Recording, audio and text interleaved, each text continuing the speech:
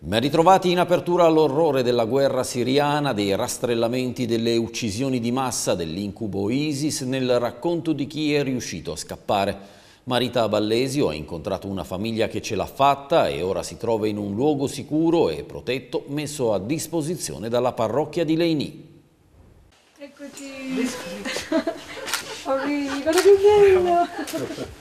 Eh, ciao. Ciao. Ciao. Hi. How are you? Ciao. Hello. Ciao.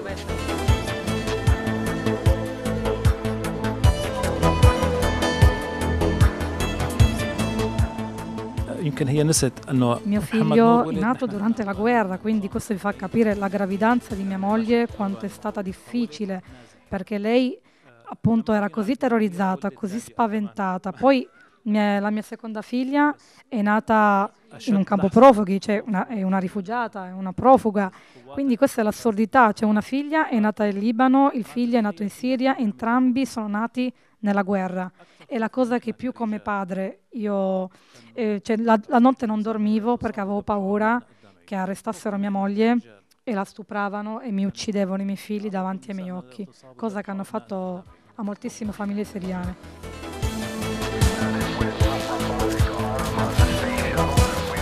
Rincorrere un pallone per un bimbo di tre anni nato in un campo profughi che non sa cosa sia la pace e la libertà è un'emozione unica.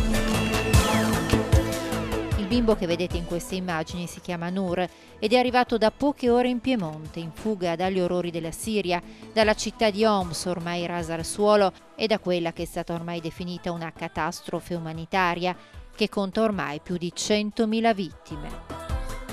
Nur, dopo mesi di paura e viaggi in condizioni terribili, si trova ora al sicuro a Leni nel Torinese, insieme al suo papà Yahya Monla, professore di teologia arabo presso l'Università di Damasco, alla sua mamma Ibaa, alla sorellina Mira di appena un anno e a tutti i suoi zii.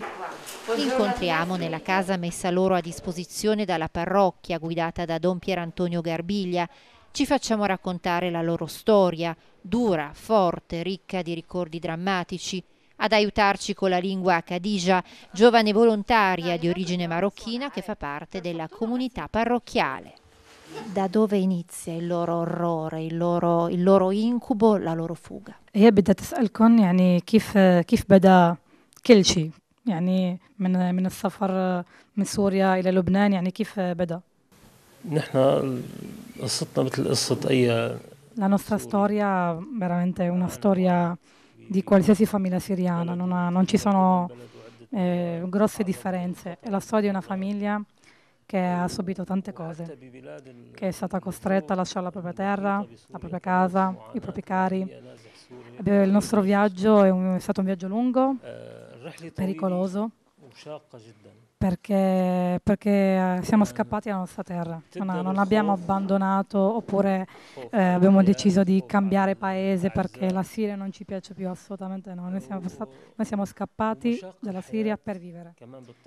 E è stato un viaggio pericoloso, pericoloso, pieno di preoccupazione, di ansia, di paura, e terrore più che altro perché Ehm, no, non sapevamo quanti di noi riuscivano a scappare dalla Siria. Lui mi diceva che ad esempio le, le, donne di questa famiglia sono riuscite a scappare dalla Siria in modo legale, quindi attraversando un confine, ma in modo legale. Invece gli uomini della famiglia sono scappati in modo illegale, hanno rischiato più volte la vita, volte, sono stati fermati più volte, hanno rischiato di non poter superare quel confine sapendo che la propria moglie, la propria sorella è in Libano però- e io sono in Siria.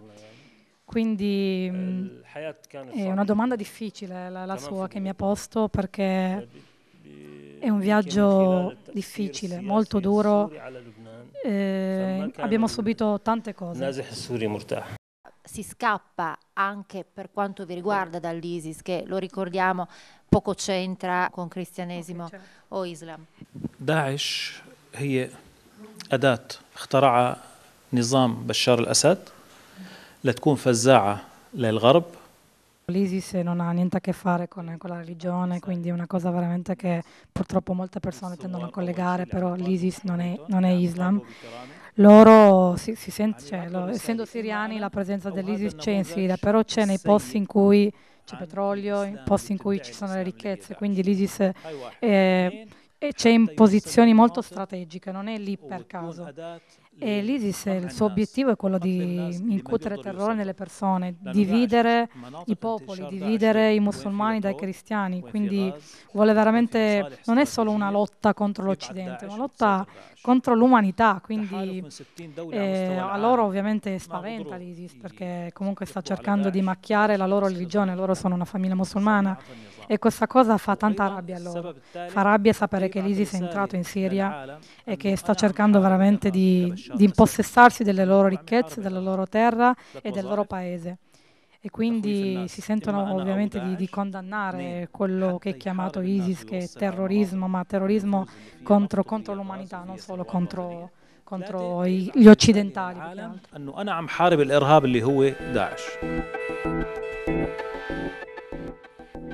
guerra, ma poi c'è anche il lato umano. Qui abbiamo delle mamme, abbiamo delle mamme che pensano in maniera ancora più forte, sono dovute scappare con i loro bambini, bambini piccoli, bambini già perseguitati, addirittura a pochi mesi di vita. Ecco, io vorrei chiedere a una mamma quanto sia ancora più pesante, più tragico.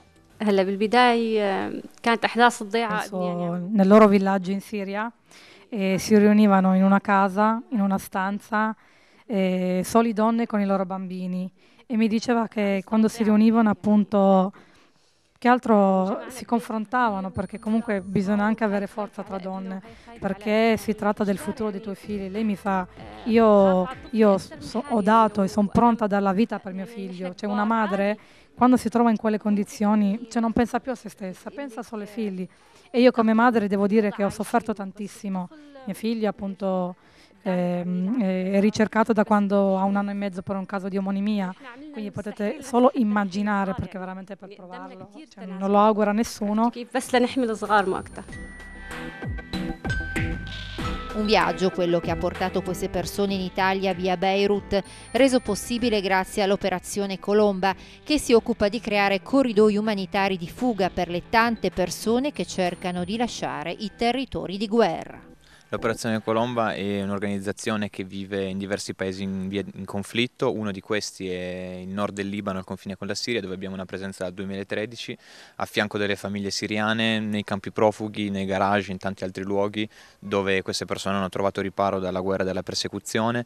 Molte sono famiglie che vengono dall'area di Homs e di Aleppo sono famiglie che hanno subito i bombardamenti da parte del regime di Assad, che sono fuggite durante i primi anni della guerra da parte appunto delle violenze dell'esercito regolare e successivamente anche dalla nascita di gruppi come lo Stato islamico e, e altri gruppi jihadisti. Ecco. Però è importante ricordare che in Siria è una guerra dove ci sono violenze da più fronti, eh, dove c'è un, un, regime totalitario che ha oppresso a lungo e un, un altro totalitarismo come quello dello Stato islamico che, che in qualche maniera si fronteggiano ma a farne di più le, le spese la popolazione civile. Ecco, insomma, non, ci sono molti interessi trasversali economici e politici e che si giocano sulla pelle dei siriani eh, ma che hanno i loro responsabili in altri continenti. Ecco, insomma.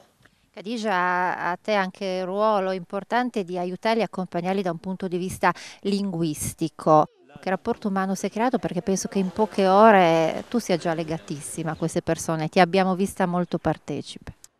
Assolutamente sì, io appunto sono qui come volontaria, come veramente cittadina italiana che ha un senso civico perché vuole veramente aiutare, dare una mano per, per quel che posso più che altro, perché io sono di origine marocchina, loro sono siriani, anche i nostri dialetti sono completamente diversi, ma io faccio veramente lo sforzo di riuscire a, a, a capire quello che dicono e poter aiutare con la comunicazione e ti devo dire che in un giorno tante emozioni, tante emozioni, ho, ho, legato tantissimo con loro ed è come se mh, li conoscessi da, da, una vita, si è creato un rapporto umano, appunto come dici tu, molto bello grazie anche alla comunicazione che è molto importante e loro piano piano appunto impareranno l'italiano anche per poter comunicare eh, con gli altri perché appunto è molto difficile da parte loro comunicare con una persona che non sa, sa l'arabo. E io in questo caso faccio veramente da, da mediatrice è emozionante. Io stessa mi trovo in difficoltà a dover tradurre non solo perché non conosco un termine, ma perché eh, mi emoziona quello che mi hanno detto, quindi devo prima rielaborare per poi eh, dare una traduzione corretta di quello, di quello che, che mi hanno detto appunto. Le paure erano tante prima di partire, perché appunto cioè, l'Italia è un, paese. nuovo per loro, però loro prima di arrivare in Italia hanno già sentito l'amore e l'affetto da parte de, dell'Italia e dei cittadini di Leini, perché quindi questa cosa qui con, lo dice con, un, con, con onore, mi fa, noi ci amavano già prima e siamo stati accolti in una maniera impressionante, una belli- cioè in un bellissimo modo, tanti sorrisi, tante lacrime. Quindi la cosa che più io mi aspettavo di trovare in Italia è umanità. E io l'umanità l'ho trovata sin dal primo giorno, sin dal primo momento che ho messo piede in Italia, ma soprattutto lei Sono molto fiducioso, sono molto fiducioso, credo nel, nel valore appunto umano delle persone e, e sono, sono positivo. Spero di di poter dare un futuro migliore ai miei figli, di poter vivere in pace, perché comunque la cosa che più chiediamo è la pace. Cioè noi non, non, non, vogliamo tanto, vogliamo solo avere pace e avere il diritto di vivere, quindi anche non abbiamo grosse prospettive, vogliamo veramente solo vivere. Thank you, Thank you very much. Thank you.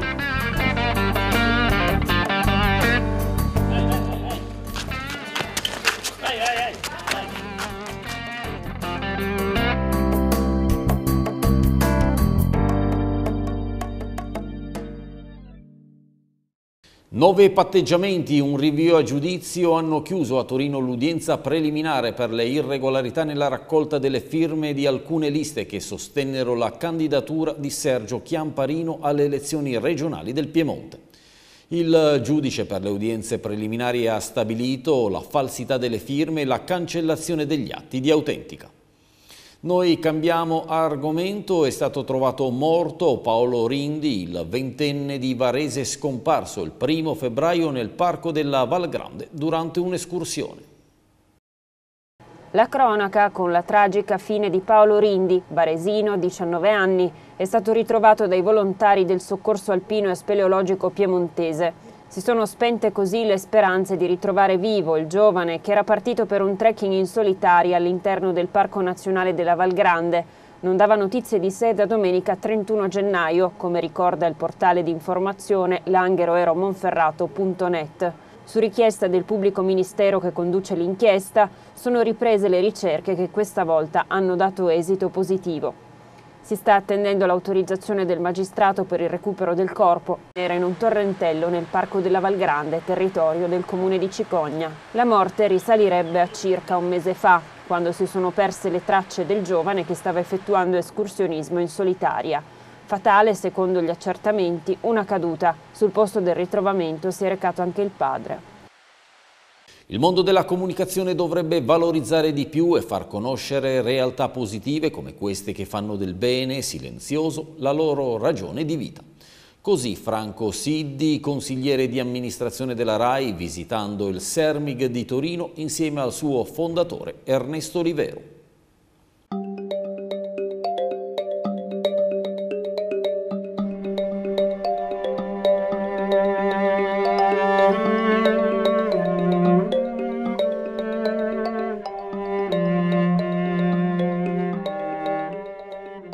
Sermig di Torino, Arsenale della Pace, una creazione di Ernesto Olivero, un simbolo a livello nazionale di cosa può fare la bontà. Per lei la prima volta ne esce con quale messaggio? La prima volta che vengo qui ne esco con un messaggio che racchiude il simbolo che abbiamo qui alle nostre spalle.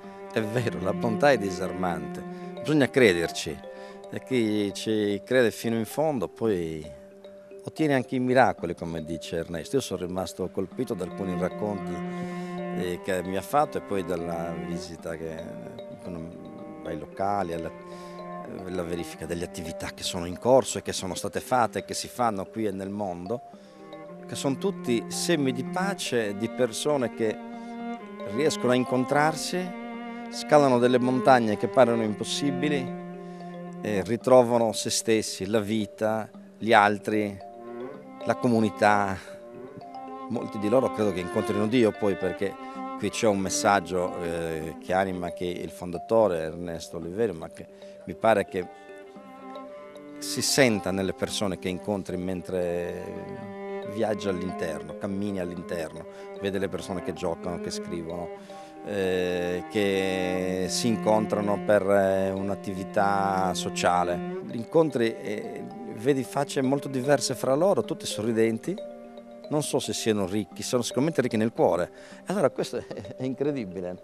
Eh, finora siamo stati portati a pensare spesso che eh, la bontà è, è, qualcosa che si fa una volta ogni tanto, un gesto. Eh. Ma dire la bontà è disarmante e realizzarlo è qualcosa di più. Apri i cuori, ti suscita un sentimento, una passione, un entusiasmo e ti rendi conto che è vero. Hai voglia tu di dire che le, le guerre le spegni con le armi. Eh, non basta far cessare le armi quando c'è una guerra. Se poi subito dopo non c'è qualcuno, prima uno, poi un altro, un altro ancora, che ci si mette a fare qualcosa di buono, che si mette a coltivare la vita, a coltivare il piacere dello stare insieme, il bene della vita comune. Qui tutto ha un'ispirazione eh, superiore e ascoltando Olivero devi, pensare che ci siano davvero dei miracoli, perché lui mi raccontava di essere andato a Roma dalla Presidente del Consiglio. Il Presidente del Consiglio da molti pensato in maniera diversa, la storia ha tante facce, che eh, ti chiede per cosa sei venuto cosa, e dice ma io voglio, voglio, fare questo, voglio fare questa opera e ho bisogno dell'arsenale di Torino. Dice, non sapevo neanche che ci fosse. L'arsenale invece poi c'è, si apre e diventa questa grande comunità, questa grande casa, questo grande centro culturale, religioso, multiculturale, di pace, di, di, di solidarietà. E allora evidentemente qualcosa c'è che capita eh, sembra straordinario, sembra un po' sovrannaturale, eh, per chi ci crede questo è un segno di fede. Si parla di comunicazione, lei è uomo di comunicazione in tempi così negativi, quanto è importante anche parlare di questo? Io la vedo anche davvero molto colpita a livello umano. Sì, io sono colpito, io penso di avere delle sensibilità di un certo tipo, eh, vengo da una regione peraltro povera, che è isolata, che ha ha dovuto faticare per stare nel mondo e deve faticare ancora, quindi questo mi dà evidentemente un po' da pensare in più, ma uno, le parole, non, le parole rischiano di essere anche sbagliate, di essere troppe, a volte entrando in una sala, abbiamo visto la sala del silenzio, a volte serve anche un po' di silenzio perché ti aiuta, ti, ti fa sentire, trovi, trovi te stesso. E, e, e mentre stai trovi un po, di, un po' di più te stesso trovi anche altri, ti ne accorgi, è così. Anche se non c'è nessuno, quando siamo entrati nella chiesa all'interno, ho detto Ernesto, mi sembra di essere di là, vicino alla... È una cosa, non lo provi, cioè sono delle, delle sensazioni.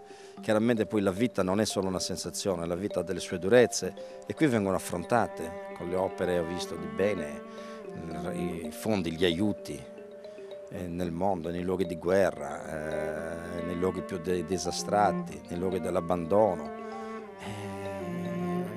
lo so, io credo che per la comunicazione c'è un, un segnale, dal mio punto di vista, che bisogna guardare tutte le realtà. Noi spesso partiamo solo dalla considerazione, è una grande notizia, una brutta notizia. È una grande notizia anche una grande opera di bene. È una grande notizia capire gli esempi che ci sono nella vita comunitaria importanti che fanno nascere piante sante in qualche modo. E allora io credo che la comunicazione qui debba riflettere un po', perché oggi noi abbiamo un'informazione troppo fatta di, rumore, di troppo rumore. Ce n'è tanta, è sovrabbondante, ci sono tanti mezzi, tante opportunità per tutti di comunicare. Oggi chiunque può immediatamente comunicare con centinaia di migliaia o milioni di altre persone, con un social e così via. E, e però si rischia di essere dispersi Abbiamo bisogno di, intanto di trovare un punto di riferimento e allora una, una informazione che riprenda a, a capire come si propagano i buoni esempi, che è ciò che noi da ragazzi abbiamo conosciuto osservando le persone nella vita comune, credo che sia necessario. l'informazione qui abbia un, una responsabilità etica supplementare che deve riscoprire se vuol trovare anche eh, la condizione per essere più forte, più autorevole. No alla liberalizzazione del vino senza qualità. A ribadirlo le 75 regioni del vino presenti a Grinzane Cavour nell'ambito di una giornata organizzata per discutere delle questioni aperte sul fronte della produzione vinicola. No al protezionismo, sì alla tutela dei vini di pregio dei loro territori. Le 75 regioni viticole europee riunite nell'Arve guardano i vantaggi dell'espansione dei mercati, ma al tempo stesso chiedono la tutela delle denominazioni e nuove misure in aiuto dei vignaioli. Sono alcuni dei temi dibattuti a Grinzane Cavour ad un convegno internazionale promosso dall'Arve, presieduto da Sergio Chiamparino, presidente della regione Piemonte. Noi non siamo contro la liberalizzazione perché di per sé può portare dei benefici ai consumatori perché gli consente di accedere a prezzi minori a una gamma più vasta di prodotti, ai produttori perché consente di avere mercati più ampi a disposizione. Chiediamo che sia una liberalizzazione con qualità e quindi la trasparenza è lo strumento che la garantisce, cioè se uno compra un vino che sull'etichetta è scritto vino da tavola e se poi si consente che lì si metta che è fatto con un vitigno, esempio Nebbiolo o Dolcetto, che ha, sono una denominazione d'origine garantita, quello è un modo per, se non ingannare, certamente essere poco trasparenti nei confronti di quel consumatore. Quindi noi diciamo si produca ovunque i vitigni che si vuole, però si scrivono nelle etichette eh, quello che effettivamente ci sono. Le etichette libere metterebbero a rischio, secondo Giorgio Ferrero, assessore all'agricoltura della regione Piemonte, un fatturato da 400 milioni all'anno nel solo Piemonte, creando una concorrenza sleale al 60% del vigneto Piemonte. Noi combattiamo fortemente la cultura della non trasparenza del mercato. Oggi nessuno immagina di porre barriere doganali, insomma qualsiasi tipo di barriera però è necessario che il consumatore abbia le giuste informazioni, quindi così come per il latte, ma in questi oggi dibattiamo anche della questione del nome dei vitigni sul vino da tavola, siamo contrari al fatto che non ci siano le informazioni sulla origine del prodotto e quindi per il latte diciamo basta prodotti che sembrano italiani e dentro non hanno latte italiano. E diciamolo, e poi il mercato libero. Per i vini diciamo no a inserire il nome dei vitigni qualora questi siano in una denominazione d'origine, faccio un esempio, Barbera, Nebbiolo o Dolcetto, nei vini da tavola perché qualcuno penserebbe di comprare una DOC e in realtà compra un vino da tavola magari prodotto eh, in Spagna o chissà dove. Al via il progetto Biosfera 2.0, la casa del futuro. L'innovativo modulo è stato installato a Courmayeur, poi arriverà a Milano, Rimini e Torino. Un modulo abitativo di 25 metri quadrati provvisto di tutti i servizi e costruito mettendo al centro l'uomo e il suo benessere. È il progetto Biosfera 2.0, ideato da Active House e promosso dal Politecnico di Torino con l'Università della Valle d'Aosta, avviato con l'installazione di un modello abitativo a Courmayeur. Per 12 mesi farà tappa anche ad Aosta, Milano, Rimini, Torino e Lugano, dove sarà abitato da oltre 20 persone per completare un monitoraggio ambientale e fisiologico, finalizzato a testare l'autonomia energetica e il benessere. Il modulo dovrà garantire anche in condizioni ambientali estreme, in modo autonomo e senza ricorrere a una rete di energia esterna, una temperatura dell'aria compresa tra i 21 gradi in inverno e i 25 in estate.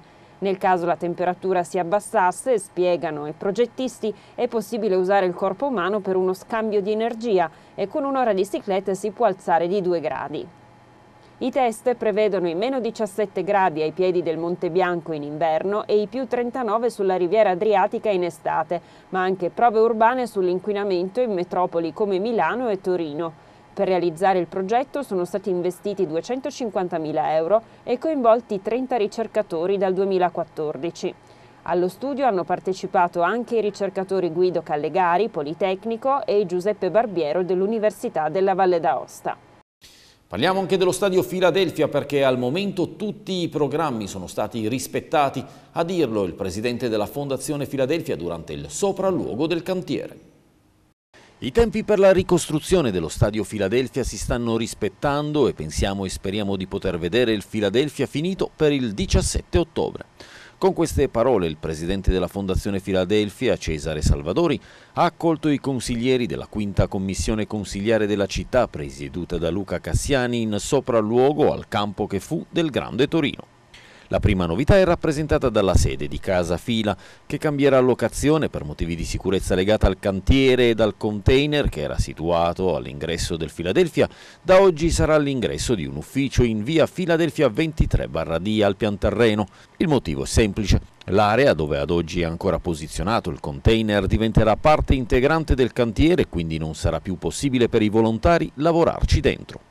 Inoltre è stata ideata una rampa allo storico ingresso del Filadelfia accessibile al pubblico che potrà vedere con i propri occhi l'avanzamento dei lavori. Cesare Salvadori ha anche fornito ai consiglieri nuovi dettagli sui lavori. Ad aprile dovrebbe essere posizionata la prima tribunetta, a metà maggio il resto del prefabbricato e quindi dei posti a sedere. Inoltre nello stesso periodo verrà fatta la semina del campo. Quindi entro la fine dell'estate sarà posizionato l'intero guscio. Devo dire che è vero che sono cinque anni che c'è questa fondazione e dobbiamo, non dobbiamo dimenticare che i piani sono stati anni anche lunghi, difficili di preparazione, perché eh, sembra poca cosa, ma eh, tutte quelle che erano le attività propedeutiche a, a, a tutta l'attività che abbiamo poi svolto negli ultimi due anni. Diciamo che i primi anni non c'era Salvador. Eh? Quindi, e quindi è importante, è importante il lavoro fatto da chi mi ha preceduto e questo lavoro che viene fatto oggi è un lavoro di equipe, un lavoro di gruppo che senza la collaborazione dei consiglieri, dei revisori, eh, delle istituzioni, ma anche dei volontari, tutti, guardate che abbiamo messo su una squadra di volontari che è veramente invidiabile, sia di professionisti che ci affiancano costantemente, sia di volontari che operano eh, in tutti i momenti per, per quello che serve. Oggi noi siamo qui, il tempo ci aiuta oggi perché bastava Abbiamo calcolato venire... Ecco, due giorni fa Stai tranquillo, io ho guardato le previsioni, lunedì era buono, lunedì... Ecco, benissimo. Eh, siamo in un momento diciamo di transizione perché questo che sono stati i nostri uffici fino a oggi da oggi vengono smantellati perché fra poco qui diventa area di cantiere anche questo, quindi abbiamo dovuto trasferire questo punto di informazione della fondazione di qui al 23 magari quando andiamo, andiamo. ve lo fa, ve lo fa. certo, certo. Contrariamente abbiamo messo la cosiddetta perché fa la settimana mio fratello tanti anni qua a giocare quindi verranno, se avremo i fondi verranno sistemati ri, rimessi in sicurezza che per il momento li isoliamo perché non ci siano pericoli quando avremo i soldi li sistemiamo e li utilizziamo questo per fare un'area polivalente per, per i tifosi per il Toro Club per il pubblico e quell'altro come area per il Torino per riabilitazione di funzionari di qualche giocatore. Ecco. Spazio agli sport invernali con una delle sue discipline più spettacolari. Entra nel vivo la stagione agonistica per Valentina Greggio, atleta verbanese, campionessa mondiale di Speed One, lo sci velocità. Torna in pista per battere se stessa. Valentina Greggio, vincitrice lo scorso anno della Coppa del Mondo femminile di Speed One, il chilometro lanciato, e vincitrice del mondiale della stessa specialità con il record personale di 231 e 800 km orari, da domani sarà in pista nuovamente per la prima prova di Coppa del Mondo. Il circus della velocità su neve, ma sarebbe meglio dire su ghiaccio, si ritrova in Canada, a Sun Peaks, per la gara di esordio. La ragazza verbanese sarà l'unica componente della squadra femminile azzurra e avrà il compito delicato e la grande responsabilità di difendere la corona di regina della velocità e di tenere alti i colori del nostro paese in una specialità dello sci che è tra le più difficili, diciamo pure, più pericolose dello sci. Alla prova canadese la Greggio si presenta con pochi allenamenti sulle spalle per quanto riguarda le prove in pista, purtroppo la carenza di neve l'ha penalizzata, ma con una forte preparazione fisica e atletica. La mancanza di neve non mi ha permesso di prepararmi come volevo, ci dice la campionessa del mondo, ma ho lavorato molto in palestra. Inoltre in Canada avrei voluto portare le novità tecniche che ho studiato con l'ausilio soprattutto di mio papà Sergio, ma non avendo potuto provare ho preferito fare questa trasferta con il vecchio e collaudato materiale. Novità aerodinamiche, tutte rigorosamente top secret e i nuovi sci fatti su misura per lei verranno utilizzati in seguito. Per quanto riguarda il campionato, un po' di scaramanzia, la Greggio non si sbilancia. Non faccio mai programmi, ci dichiara. Il mio obiettivo è battere me stesso, ovvero migliorare il mio record personale e cercare di superare il muro di 232 km orari. Per quanto riguarda la Coppa del Mondo, cercherò di fare risultati, anche se quest'anno penso che la concorrenza sarà agguerrita come lo scorso anno, forse di più. Il Canada sarà il mio test per la stagione stagione che proseguirà poi, neve e temperature permettendo, sulle nevi di Andorra, alla Gran Valira. Proseguirà poi in Vars, in Francia, una pista ideale per fare i record, per poi andare in Svezia e probabilmente in Austria. In predicato c'è anche una prova in Islanda, ma non si è certi. L'unica certezza è proprio lei, la nostra Valentina Greggio, la regina della velocità sugli sci che insegue un nuovo record e forse un nuovo sogno. Ancora adozioni al centro delle discussioni dai palazzi di governo, poi la visita del Premier Renzi al cantiere del centro congressi che sarà realizzato. Sono tra i punti salienti dell'attività politica che ci arriva in esclusiva per la nostra emittente.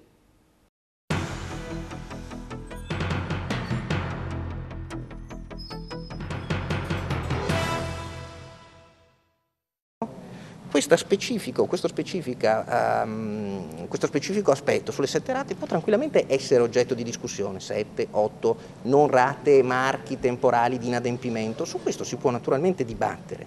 Quello che è assurdo è che passi il principio per il quale noi stiamo invece introducendo una norma che mette in condizione peggiorativa a ordinamento esistente il consumatore. Io, io non, non, non so eh, se si può dibattere, scusa, si può dibattere, per quale motivo avete fatto già il decreto che dice sette rate?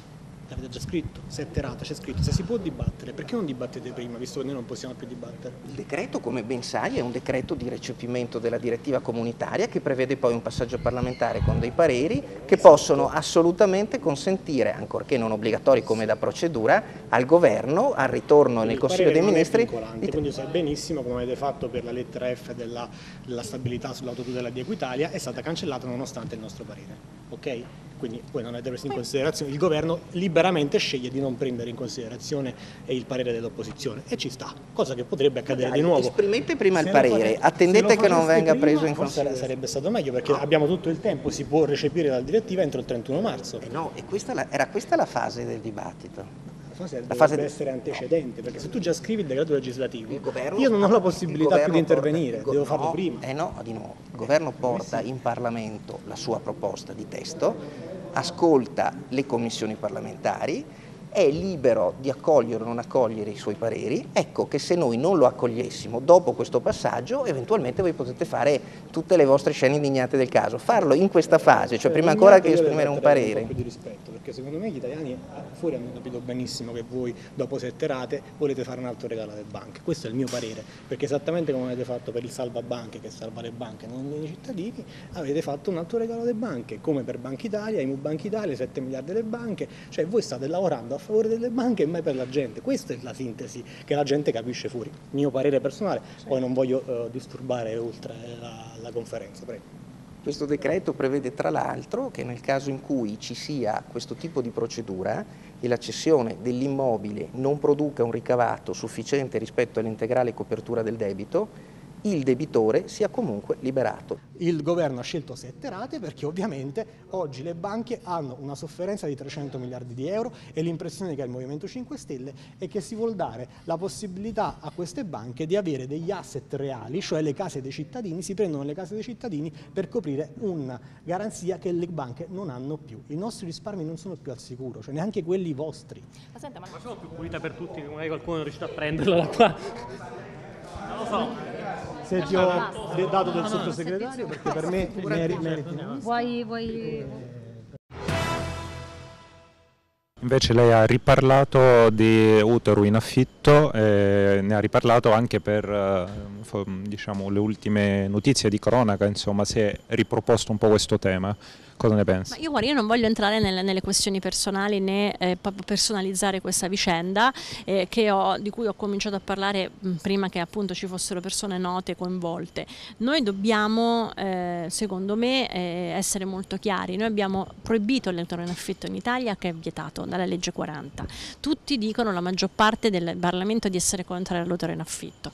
Quindi la mia, la, la mia posizione politica, non come governo, politica come esponente de, de, del mio partito, è quella di eh, proporre un uh, disegno di legge eh, per, eh, di iniziativa parlamentare per renderlo un reato universale, quindi perseguibile anche eh, all'estero.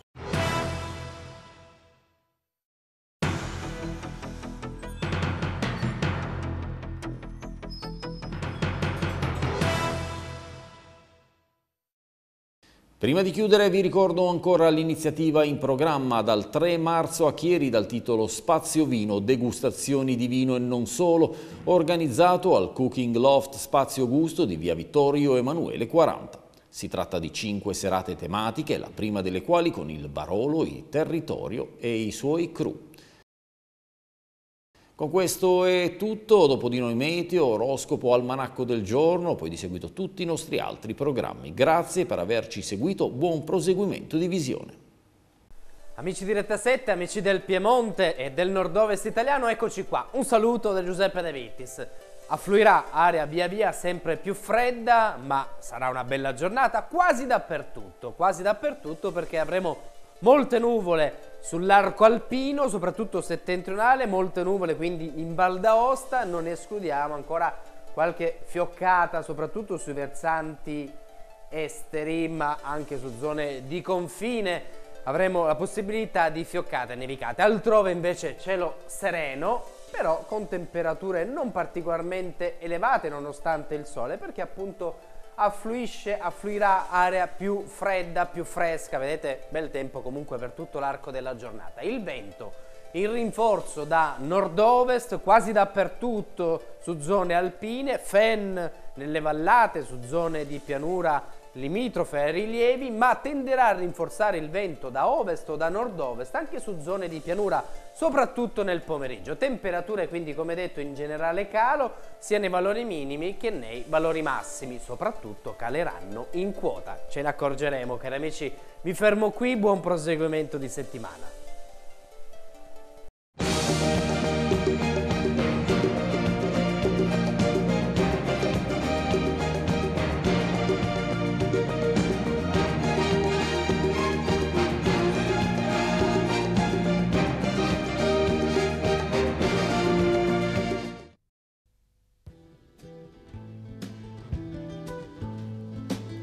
E siamo pronti con l'appuntamento dedicato all'oroscopo che parte subito dall'Ariete. La giornata parte un po' assonnata e potreste fare fatica a recuperare l'energia necessaria per affrontare tutti gli impegni di questo giorno. Toro, le cose da fare sono sempre tante, voi ogni tanto potreste finire col perdervi nel mare degli impegni che tendete ad assumervi. Forse sarebbe il caso di cominciare ad essere un po' più selettivi.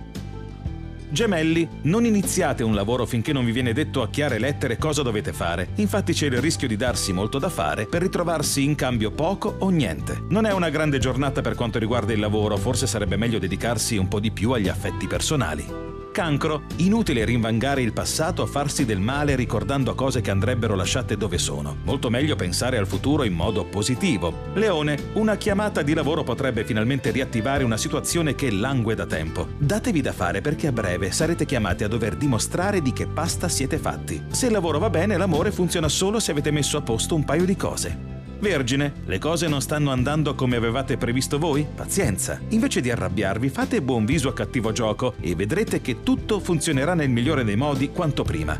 Bilancia, ancora un po' di indecisione per quanto riguarda una scelta importante che va a toccare la sfera privata. Non potete però continuare a rimandare, altrimenti potreste scoprire un bel giorno che è troppo tardi per ottenere ciò che volevate. Scorpione, se vi fermate all'apparenza, rischiate di prendere un grosso abbaglio. Meglio andare un po' più a fondo di una situazione, evitando così di dare a una persona delle valenze che forse non ci sono. Sagittario, qualcuno non risponde alle vostre aspettative nel modo in cui speravate voi, così vi sentite offesi e poco capiti. Anche l'amore non è mai in linea con i vostri desideri. Capricorno, siete sempre sulla difensiva pensando che il mondo fuori voglia solo farvi del male. Cambiate punto di vista e siate più disponibili nei confronti degli altri. Potreste andare incontro a qualche piacevole sorpresa. Acquario, le cose che vi immaginate non sempre potrebbero corrispondere alla realtà, perciò le stelle consigliano di farsi pochi film in testa e basarvi il più possibile sui fatti concreti. Pesci, l'ultima cosa da fare nella giornata di oggi sarà quella di piangervi addosso. È vero, il lavoro conosce dei problemi e anche la vita privata per molti di voi potrebbe funzionare a singhiozzo. Ciò non toglie che con un pizzico di ottimismo in più potreste finalmente vedere anche tutte le belle cose che avete e che troppo spesso non considerate.